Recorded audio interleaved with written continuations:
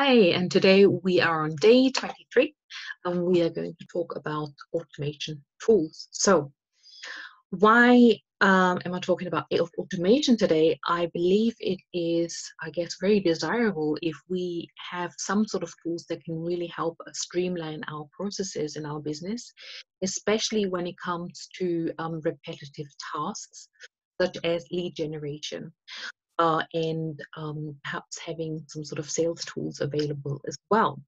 Now, um, I think the idea is all about gaining some time back and being able to leverage and not having to actually do everything manually. And this is why I will give you just a model of um, with three key components as to how a, a lead generation um, front end can look like. That will then um, so move over into some nurturing process um, to actually showcase what you do and then help you create that sale. So three key components and um, we probably need to go back into some of the previous days where we actually had prepared those. One was actually thinking about the lead magnet.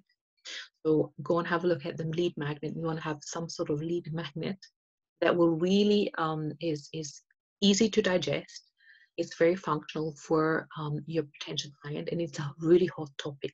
So make sure your lead magnet actually fills fills all of those criteria, because those those are the, the things that people really want and actually need, and it will give you quick wins. And with that, you can really create um, that um, that trust factor as well. So create something really high um, high uh, quality for that. And then we also, on day 16, I believe, we talked about email sequences. So you might have to have some sort of email sequence in place as well. The third component is actually your um, your signature solution. What is the program? What's the service that you are providing? And all of the three components need to be really congruent because you are leading your potential clients from you know, the first contact over to, you know, the second part, which is about nurturing and then actually taking them on the journey or opening up their minds as to why they might want to actually work with you and what results you can for people. So the three key components as in technology bits are a it's a website, um, not a website, so it's a, an opt-in page. So it's a page basically that um, shows the freebie where people can opt in with an email address and uh, their name. Now, why am I saying it's not a website? It can live on your website. However, if it's outside of your website and it's a standalone page, people are not going to get distracted with all kinds of different buttons on the top in the menu because they might actually land on that page and you are promoting that specific freebie with that pay, with that link. And they land on it and then you, they land on your website and they might actually click around and totally forget about giving their email address to you.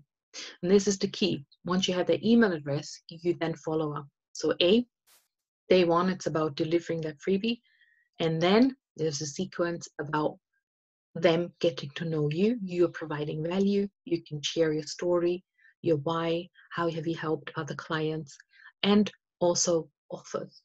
And this is number three when you are sharing those offers. Okay, so number two was obviously the email sequence, the whole um, the, the whole uh, automation behind having those email sequences sent out doesn't matter when this person actually opts in and downloads that freebie, it'll start then with day zero and automatically those emails will be going out in that order that you had set it. And then day three, um, the, the third phase is a sales page, or it could be a call to action to get on a call with you. So one, it could be a sales page where you talk about a specific program that you have. Usually you would, um, when it's a higher higher level ticket, like a higher level investment, you want to actually get people on a call. Why? Because they want to have that conversation. You want to have that conversation with them as well, whether they are right for your program.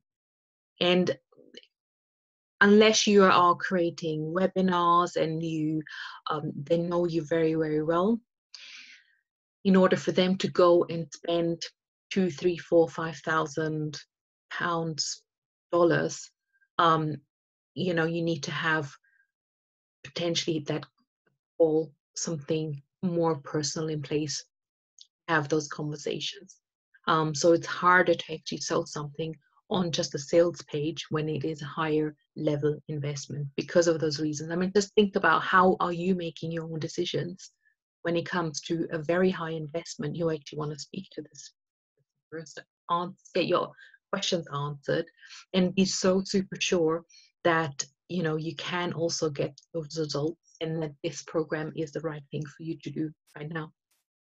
Yeah. So the sales page could be for a smaller program, obviously with a buy now button and information about the program. There could be a video in it. Or if you want to have uh, a page where you briefly talk about your program, your signature solution, which I talk about a lot in terms of steps you're taking your clients through, and um, and then invite them. To a call. And then there is another automation piece. Obviously, you want them to be able to book a call and it will automatically um, add that call into your diary and it will email them the information about how what time they, you're going to be connecting with each other so then of course you want to make that sale and you have to have some sort of um, button or something in place paypal or stripe whatever you need to set that up and um, organize you can you can automate a little bit rather than asking them to send you money via bank transfer. Again, that's sort of a manual sort of follow up. And then there is the delivery part, right? So you want to deliver your program. How do you do that? How do you then leverage perhaps some of the videos you're doing? Is it something that you may want to reutilize or you want to create another program out of, of um, uh, programs you're going to be running live? So what's that strategy? okay, I've gone much more than the three key components that I actually want to talk about. So don't get overwhelmed. So the first three things you might want to get in place is an opt-in page, an email sequence, and some sort of sales page or a page where people can book. Okay, now there are many different tools available as to what software. I personally, I'm using GetResponse, which has all the three tools available in one. That's why I like it. You don't have to have one tool in the one software and other tool in another and connect it together. Um, but obviously it is it is a personal choice.